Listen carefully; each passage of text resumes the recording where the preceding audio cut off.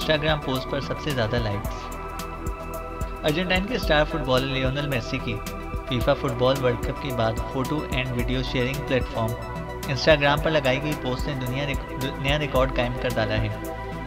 Football world cup जीतने के बाद इंस्टाग्राम पर लियोनल मेसी के अकाउंट पर लगाई गई पोस्ट इस प्लेटफॉर्म पर सबसे ज़्यादा लाइक की जाने वाली पोस्ट बन गई है।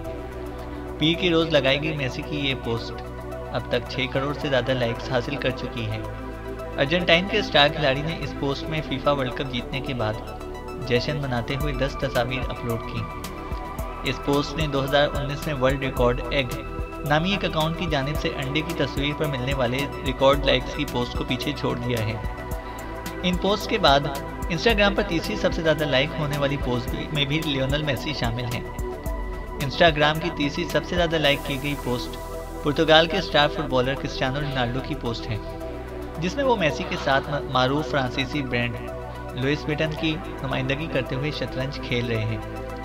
अगर इंस्टाग्राम पर सबसे ज़्यादा फॉलोअर्स की बात की जाए तो इसमें Cristiano Ronaldo 51 crore 98 lakh followers के साथ दुनिया में सबसे आगे हैं, जबकि इनके बाद इनके हरीफ लियोनल मैसी ही हैं, जिनके 40 करोड़ फॉलोअर्स हैं। मैसी की पोस्ट को इंस्टाग्राम की तारीख में सबसे ज़्यादा लाइक्स मिलने पर समाजी रबतों की वेबसाइट्स ट्विटर पर तबसरे भी देखने में आ रहे हैं।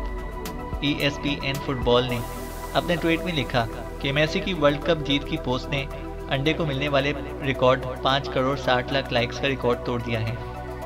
जॉर्डन कपलान ने मजाया अंदाज में ट्वीट की कि मैंने इंस्टाग्राम पर अंडे वाली तस्वीर को अनलाइक कर दिया है और मैसी की तस्वीर को लाइक कर दिया है।